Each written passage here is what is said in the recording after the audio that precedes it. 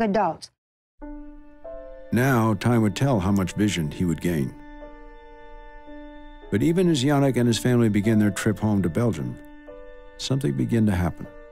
You're crying. it's just crying. Honestly, my wife and me, we are at the airport in Philadelphia. And you can imagine that my son, nine, nine years, at the lap of my wife, he taking her head. Oh, I see, I can see the color of your eyes, they are blue. And my wife and me crying, crying in, in an airport of Philadelphia, yes. I think it was gate A.